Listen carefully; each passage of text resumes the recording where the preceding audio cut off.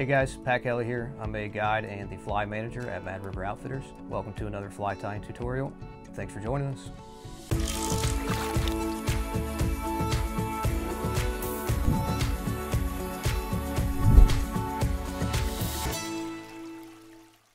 Today we're going to be doing a uh, hollow fly. As anybody that knows me probably knows that the hollow fly is my favorite fly of all times. It was a, uh, technique, the hollow tying technique was pioneered by Bob Popovics.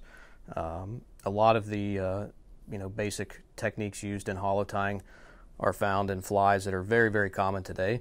This is a similar fly to what we're going to be doing today. It's just a basic hollow fly. Um, this is a smallmouth version that we use a lot around here in our guiding and fishing locally. Um, works on smallmouth anywhere you fish in the country. Um, other patterns that use the hollow tying technique, uh, which a lot of people are going to be familiar with nowadays, are the musky flies and predator flies. Um, a lot of the pike and musky style flies exclusively use hollow tying techniques. Uh, the hollow tying technique is, which we'll get into today, um, is just a way of working with bucktail. And the whole idea behind hollow tying is it allows you to um, create the illusion of bulk without actually having a lot of mass in the fly. So take a fly like this, for example, which looks really, really large and heavy, but it's actually incredibly sparse, and a lot of that is due to the hollow tying uh, technique. So it gives you, again, just the illusion of bulk without actually not being uh, incredibly bulky. So hollow flies are really, really easy to cast. Uh, a lot of fun to fish. In my opinion, there's nothing that looks better in the water than a hollow fly. Uh, that just all the fibers just kind of come to life, even when a, a hollow fly is at rest in the water when you're not moving it, every individual bucktail fiber is just quivering and fluttering, and it just looks incredible. Um, anybody that's ever fished with me or gone on a guide trip with me can tell you that I don't have anything really else in my box except for hollow flies. I just love fishing them. I love tying them. So uh, I'm excited to get to show you how to tie one. Very, very easy to do. There's not a whole lot to it. Um, not a lot of fancy materials. It really just consists of some bucktail, a little bit of flash, uh, a good hook, um, you know, eyes optional. You know, I tend to typically not put eyes on my flies. You know, my guide flies or my working flies. I'm generally not going to waste the time to to put them on there. But uh, you know, if it gives you more confidence in the fly to to have eyes on there, certainly feel free to do so. Uh, we'll talk a little bit about that at the end of the video as far as different options uh, for finishing the fly, but. Uh, let's go ahead and just jump right into it. The hook that I'm using today is kind of my go-to uh, smallmouth bass hook. It's a hook from Partridge. It is the uh, Predator. The size is 2 aught. Um, I find myself kind of landing on that size, uh, you know, more than anything else. Just it's just a really good. I like to have plenty of hook gap. Um, it also allows the fly to keel properly. Uh, that's that's another important aspect of, of using a little bit larger hook is when you're tying larger flies, um, you want to make sure you're using a hook that can keel the fly properly so it tracks right in the water. Uh, the other thing that it does is, um, you know, it's going to allow you to land a lot more fish. I think I see too many flies that are tied with uh, with a hook that's not large enough, um, which is just making things more difficult for you to to get a good hook set and to land the fish. So let's just jump into it. Uh, the thread that I like to use typically on almost all my flies is going to be a uh, 100 denier gel spun uh, thread. I've just kind of settled upon that as, as kind of my favorite kind of working thread. Uh, I use it from anything from smallmouth flies to peacock flies, uh, pike, muskie. It's just a really, really good all-around thread for working with bucktail. I like it. Uh, the 100 denier is not real bulky, so it doesn't build up, uh, you know, too quickly. And it's just uh, really, really strong too, which is nice. So it allows you to, to tie a good, durable fly. Um, it's going to hold up a long time. This fly, for example, has probably caught just this year you wouldn't tell by looking at it, but this thing's probably landed over 100 smallmouth this year, and it just looks brand new still. So, um, bucktail is also it's incredibly durable, which is nice, and it's very readily available. It's easy to get. Um, one thing that I like to do on all flies, whether I'm tying a peacock fly, a pike fly, a musky fly, smallmouth fly, is I'm always going to lay a foundation of thread all along the hook shank. Uh, what that does is by covering up the, the hook shank with thread is it's going to give your materials a little bit of traction on the hook shank so that they're not sliding around on you. So just side by side wraps pretty much from right behind the eye all the way back to just above the uh, barb of the hook, which is where our first tying point is going to be and where everything kind of starts. Um, bring that back to just above the barb, kind of cut your tag. First stage of this fly is going to be the tail, which is uh, bucktail. Uh, the pattern we're doing today is the sexy shad. That's kind of the color scheme. Uh, it's going to be more or less an all white body with a uh, fluorescent yellow and fluorescent blue head. Uh, this is probably probably my top producing color. I would say it certainly was this year. The majority of my big fish came on this color, so that's the one I'm going to do for you today. Now, the tail section of this fly is actually not uh, tied in hollow style, so we're just going to tie the tail in straight, just right off the back, like you would in, in a lot of other fly patterns. Um, I don't like to hollow tie the first section just because I'm trying to maximize the length of the tail, and by hollow tying it, you tend to lose a little bit of length um, of your bucktail. So that there's really no need for it. Um, tying it in straight like this too also uh, does uh, serves another purpose. It acts as a support for your Flashabou that you're going to be tying in, so that it doesn't foul and get wrapped around the hook when you're casting and fishing the fly. So when you're going to select your material for the tail, typically speaking, uh, you know your longest, you know on all, all most bucktails, your your longest hair is generally going to be kind of in this, uh, you know lower third of the bucktail generally. Now there are exceptions to that, but so when you go through and you pick up your tail and you're looking at, you know, trying to identify where the longest hair is, try to grab that for your tail. You know, that's that's really really important. So just kind of take a good look over at the tail, try to find the longest possible. Uh, all right. So once you've found the longest fibers on your bucktail, go ahead and just pull a little bit back off the hide. Um, I like to just kind of rest my bucktail down here on the table so I can get a good clean cut and cut as close to the hide as you can. That way, again, you're just maximizing the length of the fibers. Go ahead and just kind of clip those out. Set your tail to the side. Uh, one thing I do like to do before uh, I tie this tail in is I will uh, I'll kind of get in here and capture the fibers towards the top of the uh, the tips of the bucktail just trap those between your thumb and your forefinger. And I'll take a comb, your fingers, and basically just try to preen out the shorter fibers. You just want to get those out of the way. They're not really going to do anything for you at this stage of the fly. Um, and again, just a couple times with the brush is all you really need. Just pull out those shortest fibers. Uh, once you've done that, just kind of gather all the uh, bucktail here down at the base. Make a good clean cut with your scissors. And just go ahead and hold that directly on top of the hook shank. Now when I tie this in, uh, I don't want any of the bucktail to spin. We're not trying to distribute anything around the hook yet. We're just doing a just a basic tie on top of the hook shank, keeping everything, uh, you know, if you can imagine the hook, you know, broken in half this way. We want all of the hair to be on the top of the uh, of the hook shank just for this uh, particular stage. So Again, tying point just above the barb there, which is more or less right where the shank starts on this particular hook. Hold everything up there, get in there with one kind of pinch wrap, trap those fibers with the thread with a loose wrap. Go ahead and make another couple, two or three wraps again, just kind of loose. Now, when you go to tighten this down, just make sure you're holding pretty firmly with your thumb and forefinger so that when you go to tighten your thread down to lock everything in place, if you're not holding those fibers down nice and tight, the tension and the torque from the thread will actually cause the hair to, to want to spin around the hook shank too. To eliminate that happening, just kind of hold on to them real tight until you get everything kind of secured. Uh, now, I, what I like to do is I'll kind of just take side by side wraps up just a little bit just to cover up all the butts there. Just give myself a good clean tie-in point. That's going to be the base at which we uh, tie the flash onto. So by covering up all those butts, just gives us a nice neat tie-in point so we can get that Flashabou in there. Uh, one thing you'll notice too, notice there's really not that much hair here. Um, if you think you have the right amount of bucktail, cut the amount that you have in your hand in half, and that's probably getting closer to what you actually need. So uh, just always keep it really, really sparse. By keeping it sparse, again, you know, it's going to be easy to cast. It's going to breathe and move a lot better in the water, especially in the rear portion of the fly. Now, as we go closer to the eye, we're going to kind of increase the amount of bucktail we use a little bit at a time. That way we can have a denser head uh, which will allow the fly to push and deflect water, which is you know what causes this fly to swim, but we'll talk about that more as we get up there. So again, make sure that's all tightened down. At this point, if you want to put a little glue in there, you can.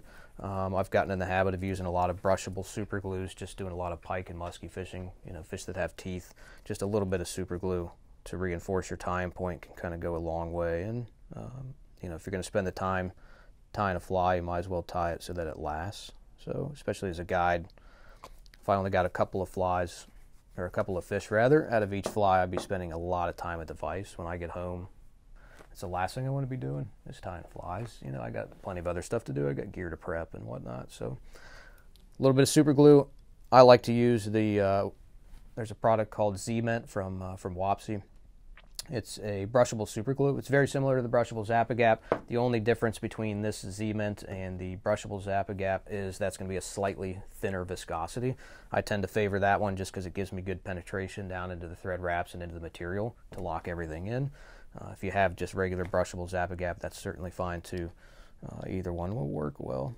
Now, for the flash, I tend to like to use the, for my first installment here, I'll use the Mirage Flashabou in the tail here.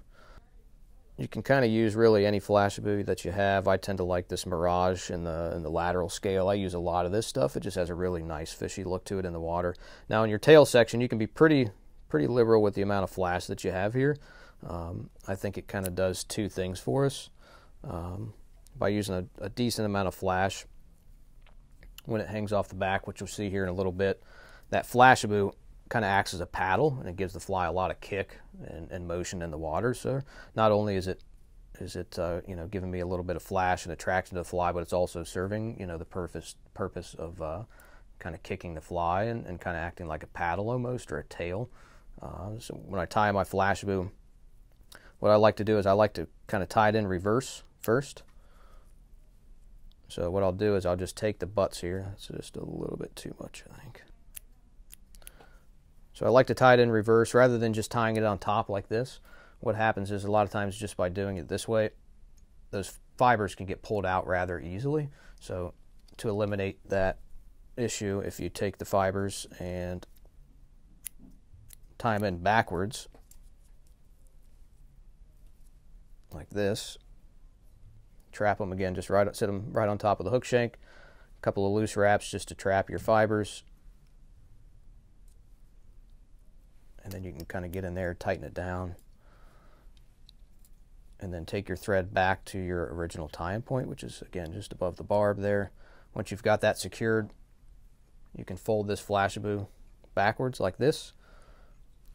By folding it back over itself and locking it in again, it is going to be practically impossible to pull these Flashabou fibers out of the fly. This Flashabou will actually break well before those ever get pulled out. So again, just making the fly, doing little things that, that, that will make the fly a lot more durable and last a lot longer. So once that's tied in there, uh, as far as length, I typically like to cut my Flashabou just a little beyond where the bucktail ends. So I'll maybe go about, I don't know, half an inch maybe, just so it sticks out a little bit farther. I tend to like going a little bit past the bucktail. When that fly's swimming through the water, with that Flashabou hanging back there, it kind of gives a little bit of a transparency or translucency to the fly. You know, if you look at a bait fish swimming through the water, if you look at its tail, you know, a lot of the shiners and shad have kind of a transparency to their to their tail fin. So, um, by doing just kind of gives you a, a way to imitate that a little bit. Once that's tied in, you can go ahead and just advance your thread up the hook shank here we're probably going to go up about, I'd say about a quarter of the way up the hook shank. Okay, so at this point, this is where we're going to begin hollow tying. Um, and from here on out, it'll be hollow tying the rest of the way up. Uh, one important note uh, that I'd like to mention with you guys: when you're anytime you're hollow tying or tying a hollow fly, um, it's important that you always have to have a minimum of three sections. You can't really create taper without three sections. So each hollow tie, you know, moving forward is going to be slightly shorter than the last one. And the idea behind that is, again, you're building taper in the fly. You're also trying to expose um, as many of the tips in the bucktail as you can.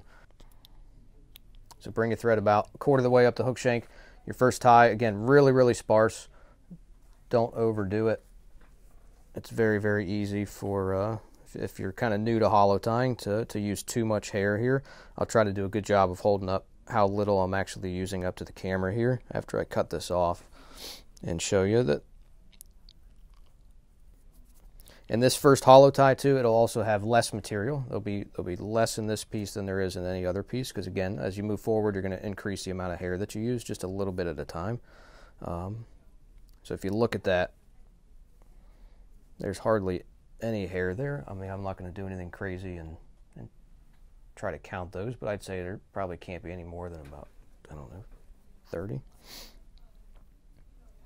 But some people use pencil whisks. I mean, that's that's maybe about if, probably a quarter of a pencil. So very, very little hair. Now, one thing that I like to do before I actually tie this in, we need to measure and use our tail as kind of a reference. So if you can, try to find out exactly where the bucktail ends on the tail. And you're going to want this first hollow tie to kind of come back about three quarters of the way into that last or previous section. So just kind of take your hands, hold it up there on top of the hook shank. You know, our bucktail's ending right about here. Tips are here, so that's about 75 or 80% of the length of this tail section here. Once you kind of got that measured, just kind of take a mental note of where you're holding that uh, that bucktail there, and that's where you're going to cut it. You know, I like to cut everything to length before I tie it in. That way, I know it ends up being you know exactly this long when we fold it backwards. So once you get that measured here, get in here. Again, just cut your butts nice and clean. Give yourself a really neat tying point. So just like the Flashabou, we're going to take the bucktail, lay it right on top of the hook shank with the tips facing out this way. I'm going to do a couple of loose wraps. I'll do one, two, three. And then before we tighten anything down, this is really, really important. What we're going to do is we're going to take our thumb and our forefinger and we're going to distribute all that hair evenly, 360 degrees around the shank of the hook. Okay. That way, when we fold this back, we'll have a nice even spread of hair. You know, if you look at this fly here, if you're looking kind of down the front of it, if you look, it's kind of symmetrical all the way around. You know, so kind of imagine that silhouette as you're spreading this hair around the hook. So just kind of take your thumb and your forefinger, kind of pinch it top and bottom, side to side. Once you think you've got it pretty well evenly spread, you can go ahead and just cinch down on your thread. Tighten everything, get it locked down to the hook shank. Now the nice thing about this, if you don't get everything perfect, don't worry about it. You can always back your thread off, uh, you know, redistribute your fibers. If, if it looks a little bit uneven, you know, kind of take a peek if everything looks good, then we'll then just kind of run with it. But if you look down your fly and if you notice, hey man, I got way too many fibers on top there, it's not a big deal. You just back off your thread, spread it around a little bit, get it to where you want it. Nothing's permanent at this point, so it's an easy fix. But if you like the way it looks, go ahead and just tighten up your thread. And again, I'll typically wrap all the way back to cover up all my butts just to give me a nice clean, clean looking fly here. So once you cover up those butts, I like to bring my thread all the way back to just behind my bucktail here because we're going to have to we're going to have to pull the thread forward uh, once we fold this hair back. I think one important thing to mention too, a lot of people um, that are kind of getting into this, I think they get a little bit confused between the hollow tying and reverse tying. Uh, there's actually is a difference. Reverse tying is uh, when you everything starts out the same. You know, you start with your material pointing out towards the front of the fly. You tie it in backwards. You're going to fold it. I'll give you kind of a quick example. You know, reverse tying is going to be when you fold the material back and actually trap the material with thread wraps on top of it like that. Hollow tying is actually building up and holding the materials back with thread wraps that are in front of the material and not on top of the material. Um, you know, the Thunder Creek minnow, that's probably one of the oldest streamers out there, that uses reverse tying. uh, and that's a situation where, or a pattern in which the, the material is being held down by thread wraps that are on top of the bucktail. But with this technique, we're going to be holding the material back with a thread dam, what's called a thread dam. So you're essentially building a wall of thread in front of this bucktail to prop it backwards. Um, so what I like to do, I just grabbed an empty pen casing. That makes a great push tool. That just kind of allows you to push everything back out of the way. Get your material hand there, hold everything, and then when you bring your thread forward, I like to pull my thread out and kind of parallel to the hook shank and then kind of bring it up, making sure you don't trap any fibers as you come forward, and then just start building a cone in front of this bucktail. If you can just imagine you're essentially building a wall of thread to hold this all of this bucktail back. Now, one thing you want to mention, I want to mention too, when you're doing this, as you're progressing up the hook shank, you're trying to build taper in the fly. So when you fold this first section back, if you can picture a bait fish in your head, it gradually gets bigger as it goes forward. So you got to be thinking about kind of the angle of your bucktail as you're working your way up through the pattern here. Um, if you look at it, this first hollow tie, you're going to be wanting to lay relatively flat, you know, and then as we work up, our angle of our bucktail is going to kind of increase and get a little bit taller as we move forward. The way to control that is the size of your thread dam. So the bigger your cone or the bigger your thread dam is, the more flat your bucktail is going to lay, you know, backwards. You know, the smaller the thread dam, the less it's going to hold the bucktail down. The, the taller the bucktail is going to stand forward. So you'll kind of see that as we complete the fly and kind of move along here. But um, once you get the bucktail kind of laid back pretty flat, you're happy with it, you can kind of just move forward. We'll go into our next tie and we're going to just do the exact same thing that we just did. Uh, again, the only thing to keep in mind is uh, when you go in and tie in your next section, just remember that your next hollow tie needs to be about, again, 75% of what your previous uh, previous piece of bucktail. That way, as you're moving forward, your your each chunk of bucktail or each tie of bucktail is going to be a little bit shorter than the last one.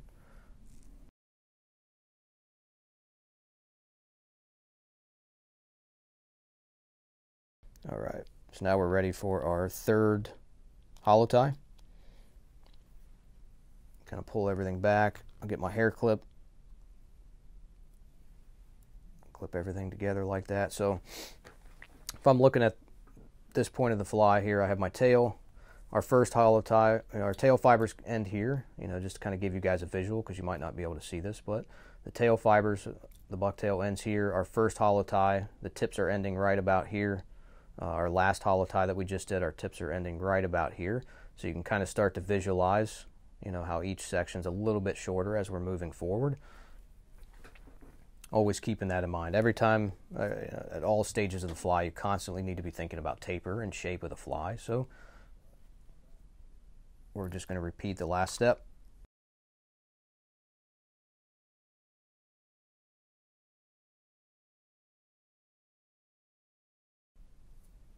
All right. If you look at our bucktail, our angle of our bucktail is constantly getting a little bit steeper here as we work our way forward. I'm going to start moving through this pretty quickly just so, since we're repeating everything that we've done in the past uh, or in the last three sections here. Uh, at this point, I'm going to switch from white bucktail. I'm going to move to yellow. Um, the whole sexy shad color kind of originated in the uh, the conventional world. A lot of the uh, you know jerk baits and, and plugs and uh, and hard baits that, that conventional fishermen would throw. I think it was Strike King was the company. Um, it's it's an all white with basically a chartreuse and a little bit of blue on it and they kind of dubbed that sexy shad. So I just that's where the name came from. Uh, it's a color scheme that smallmouth just really really like.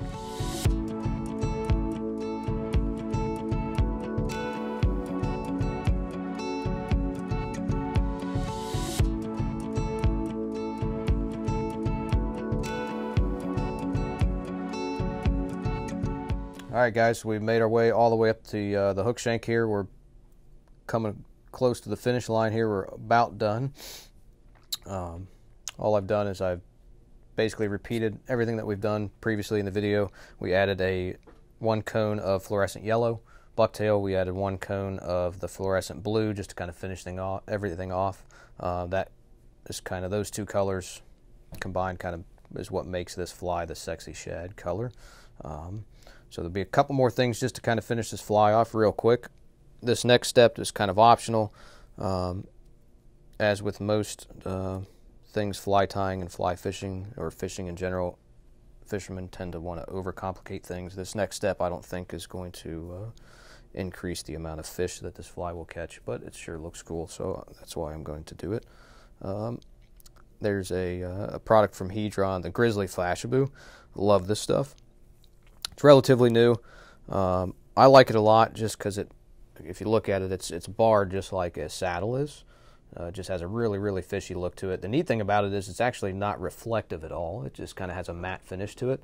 Uh, it just kind of gives a little bit of depth and a little bit of contrast to the fly. Again, not that uh, I think it's going to matter a whole lot, but um, you know, having that grizzly pattern just to finish the fly off, just right over the back, is just going to add a little bit of depth and color up there. You know, if you look at it, any bait fish, any forage fish, you know, really any fish in general, it's always going to have a slightly darker coloration across the back. Um, so this is just kind of my take on that or my play on that. So I'll just come in here. Uh, you don't need a whole lot. Maybe do six or eight strands, which we're going to double this over. So six or eight strands will end up being 12 or 16. So again, we'll tie this flash the same way that we did every uh, installment of flash throughout the fly. Uh, what I like to do here, just to make things a little bit easier and quicker, is I will just take the flash and I'll just kind of wrap it around my thread and then kind of get a hold of it here. And then what I'll do is I'll just kind of work it right up to the top of the hook shank there, kind of fold it back out of the way. I'll just get in there and get a couple of wraps around the Flashabou just to kind of trap it Again, not locking anything in all the way just yet. Um, and then I'll just take my thumb and just kind of push those uh, Flashabou fibers. Just kind of smash them just a little bit, and that'll kind of help distribute everything right around the top half or across the shoulders of the fly here. Once you get it where you want it, you can go ahead and just kind of lock it in. And then as far as, uh, you know, trimming this fly, you can just kind of or trimming the flash. If you want to trim it, you can. Um, when this fly gets wet and it's in the water, all those fibers will just kind of sit nice and neat on top of the back there, so I'm not going to worry about it. Last thing is you, eyes. Uh, I talked about it a little bit earlier in the video. You know, if you want to add eyes to your flies, you can. Um, if I'm tying a guide fly or a working fly, I'm not going to worry about it. It's just one less step. Uh, you know, a lot of flies that I'll tie for people, I'll, I'll include eyes just because they look cool. But as far as, you know, like my personal box, if you open up any of my boxes, you'll probably find flies on maybe 5% of, of my stuff. But um, now, quick thing about eyes. One thing that, uh, that I, if I am going to use an eye, I really like tab eyes. Um, there's a new product from, uh, from ProTube that we will be carrying soon. Uh, it's a 3D tab eye. And what I mean by tab eye, if you look at it, it's more or less just a 3D eye with a kind of a sticker tab attached to it, uh, which is nice. That's what you'll use to tie the eye in. Uh, the reason why I like the tab eyes over, say, uh, you know, using the stick-on eyes is, you know, you have this really, really nice profile that you worked pretty hard to build, okay? If you were to take just two 3D eyes, some super glue, and just smash them right on there, you're going to ruin that profile. It's going to take you know everything that you built and kind of worked and took your time with building all the way up. Might as well just throw it out the window. Uh, so those tab eyes are really nice because it allows you to to those tabs are just so uh, there's just not much to them. I'll kind of see if I can't peel one off and show it to you. You can attach these right up at the front of the fly here. You can see they're real real thin, so I can tie these on up here like this. And then the eye just kind of floats back into the fly real kind of natural like. I'll tie it in and I'll, I'll kind of show you guys. But uh, I guess what I'm getting at is if you are going to use eyes on these flies, buy the tab eyes. Um, that way you, you can keep that really nice profile to your fly. Now, depending on the overall length or size of your fly, uh, you may have to trim this tab, you know, a little bit shorter. You know, just kind of depending on where you want your eye. So just do your best to kind of gauge, uh, you know, what you think looks right. Just for the purposes of the video, I'm going to just leave it at the length it is instead of messing with it too much. So again, just kind of, you're going to hold the, uh, I'm just basically placing the eye right up directly on the side of the hook shank and just kind of holding it in place.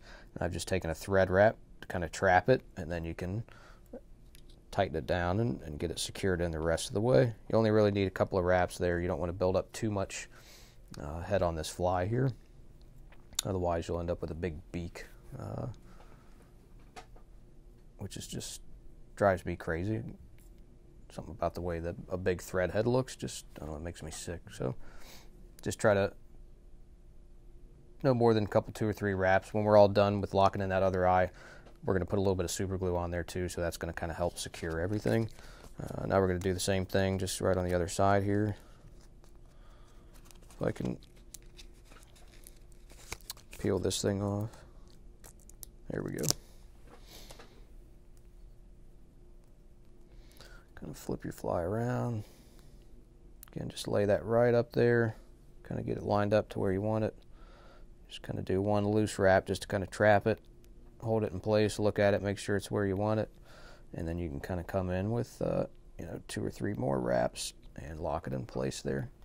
Uh, now what we're going to do is we're going to finish the fly just going to do a basic, uh, you know, a whip finish or a half hitch. You know, either one works just fine. Uh, I'm going to just do a whip finish with my hand simply because I have never used one of the whip finish tools and don't really know how to use one. Um, I just learned to do it with my hands when I was a kid and just kind of stuck with it. Uh, one thing I like to do before I finish off the flies, I'll take this uh, brushable Z-Mint and I will just put a little bit of it on my thread just like that. And that way when I go to whip finish, I can get some super glue there on the inside of my thread wraps.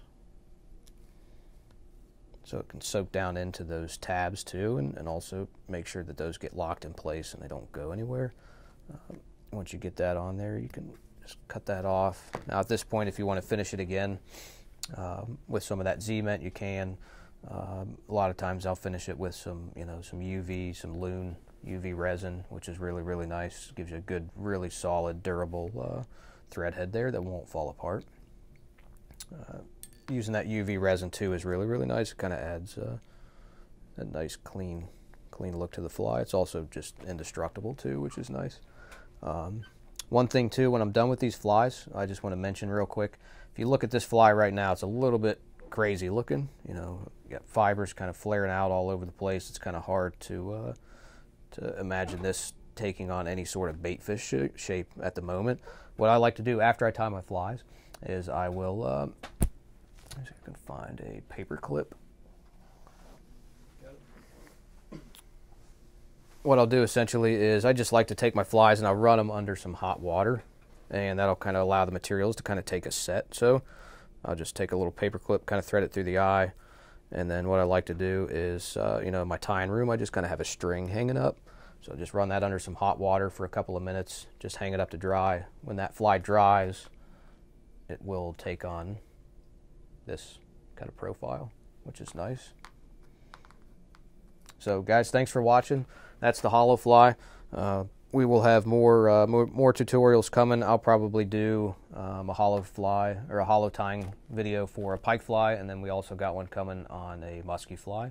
Uh, similar principles, uh, same basic idea, but things just done a little bit differently. So again, thanks for watching. Make sure you hit the subscribe button, and uh, we'll see you next time.